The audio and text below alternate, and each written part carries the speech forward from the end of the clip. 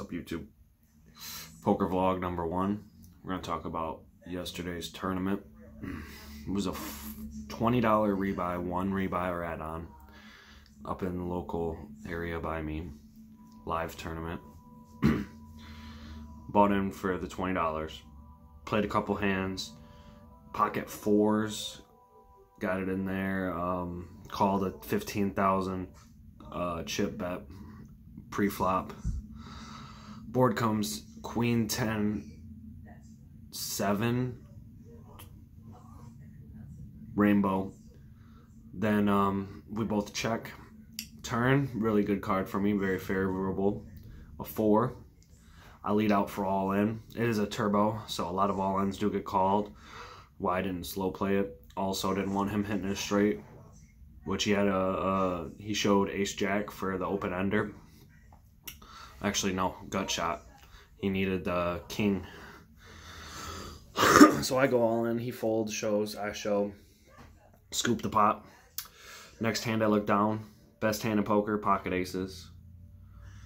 I there's a guy at the table who um, I've played with him a lot. He's a reg player. Uh, he's in the category of poker is all luck and there's no skill. So I'm giving him a hard time about it kind of talking crap to him, saying poker is about skill. That in the long run, if I get my aces versus your kings in there every time, and I uh, get it all in, I'm gonna be profitable over time. So, funny enough, next hand is aces. Uh, I make it. I was only gonna make it three times the big blind, which was one thousand. So I was gonna make it like six thousand.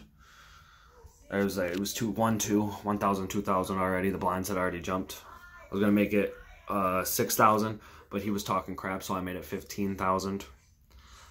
Uh, player to my left, right before said lucky player that I'm talking about, who's actually not in the hand, um, raises to thirty-five thousand. I go all in for my stack. He calls board doesn't come out very hot for us. It comes out. Yeah, by the way, he has kings. I have aces, so it's a typical aces over kings. Flop comes, he gets an open ender. Turn comes, he hits his open ender. And the river does not help us at all, so we get deleted from this tournament, but luckily it is a rebuy. So I do do my one rebuy. Um, I like to do a rebuy in that situation where if I'm aces versus kings, and I was the better hand and I got sucked out on. I like to do the rebuy then. If I uh, played bad, I don't like to do the rebuy because then I'm critical on myself and I play different. So I do the rebuy, get that rebuy in. We're coasting along the tournament, folding all our crappy cards. We look down at... what was the next good hand? I'm going to start recording my cards. I just got to ask them if it's okay first at this place I play at. It's a charity poker event in the Detroit metro area called Momo's Poker. Shout out to Momo's Poker if you guys are familiar. So I look down at, at this point, the blinds are starting to go up. They're like 7,000. I haven't played any hands. I look down at a hand. It's a preferable hand. I push. I get a call. I double up. Um, table breaks we go to a new table. We got a nice little chip stack. Not too much, though. There's definitely higher chip stacks. Play at that table. Play pretty good poker. Then it turns into the final table because it is a turbo, so people are dropping really fast. Four places paid. There's 10 people at the final table. A couple of the top hands I wanted to go over with that. Um, there was a couple hands in there that I didn't play any hands bad. Obviously, I got knocked out. There was a couple hands that I called all in at the previous table that I had a worse hand pre-flop, but but one one of the hands being um, from the first table. I wanted to talk about this one.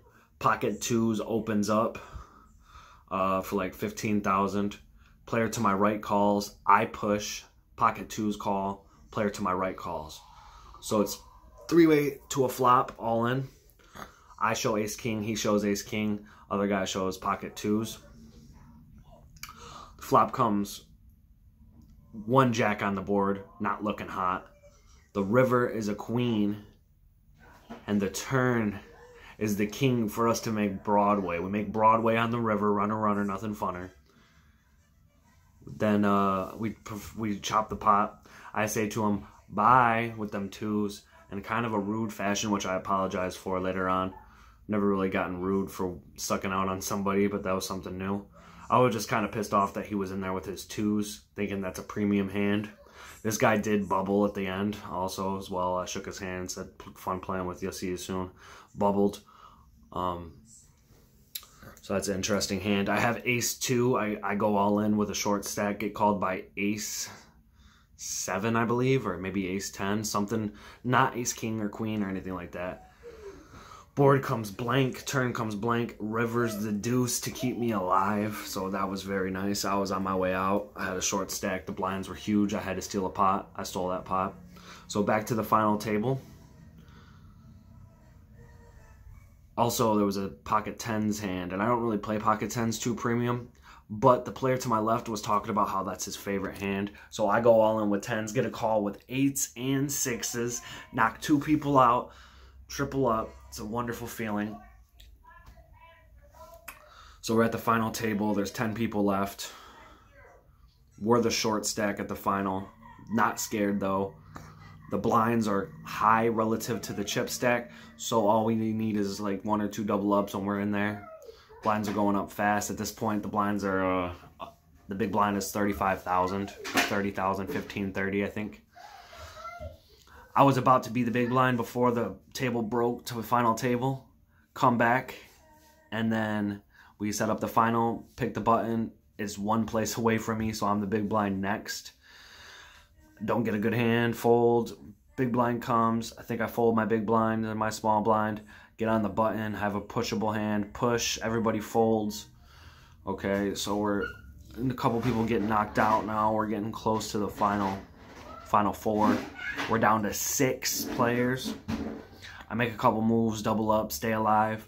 Two players go out at once at the same time. Both bubbles go out. We decided that, that since there was six players left, we're going to take 50 bucks off first and second.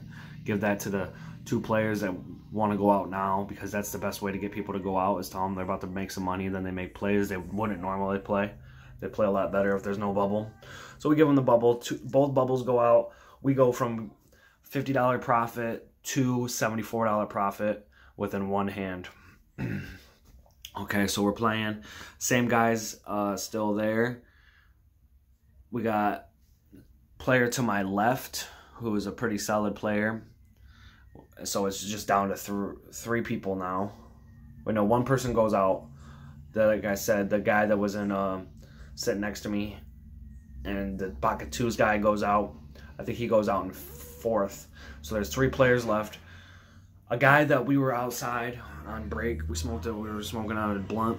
I go out there. I say, "Hey, we're gonna chop this boy three ways, right?" Joking around. So this guy is at the final table with us right now. He He's playing good. He's a solid player. I've played with him before. A lot of regulars I play with. I really haven't played with the homeboy to my left, which is good because he has no idea how I play. I play a pretty solid, uh, short stacked, solid, um, short-handed game. It was three-handed, so you know, small blind, big blind button. Money's getting in that pot really fast. It's also a turbo, so blinds are like 150,000 I double up through him. Ace 7, he calls with King 9. Uh, that holds up with the ace. Hits his king. I hit my ace on the turn, double up. I double up through him again. Before I do all those doubles up, I ask him, hey, you want to chop it? You know, anything can happen. Uh, there's like two, 300 bucks a pop each. He says no because he has a relatively big stack. I'm like, okay, cool. Time to, time to gun at this guy. So every time it would be my small blind and I have a semi-decent hand, I'm pushing on him. He's calling, I'm doubling up. We keep playing, we keep playing. Three of us, we're really solid players. So we get to the end of it, and uh, you know, it's I'm about to be the button. He's small, he's big. I say, you want to you want to try this three way chop again? He looks at my stack. It's a lot larger now than it is after he's doubled me up twice, plus the blinds. So I'm sitting at almost a million chips. He says yes. We go get the money. None of us can count. We chop it up. We each get 280. Give the rest to the dealer which we should have all got 293 So the dealer got a nice little 45 bucks for his troubles on the two four o'clock early day tournament. They do a four o'clock tournament on Sunday. It's a $20 turbo rebuy. Really solid game. Like I said, I don't have the uh, the hole cards yet. I don't have access to recording, so I just have to like go through it with my head. But I, if there's anything that you guys, from what I've said, that you guys think, any critiques or anything like that, I'm open to hear it. Um, guys, just keep your game up. Keep studying. Keep reading. Keep learning. Keep applying what you learn. Because when you apply what you learn, that's called knowledge. When you just learn it that's just that's just learning something. But when you apply it that's knowledge. So i appreciate you guys. Make sure you subscribe. More vlogs to come